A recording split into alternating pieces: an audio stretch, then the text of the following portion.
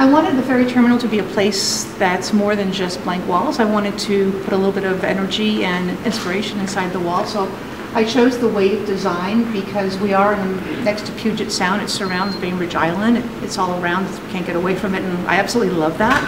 Um, the water is just amazing. It's beautiful, and I wanted to reflect that. It's just you have so many colors in the water, and that's actually the, the origin of all the different colors that we have here.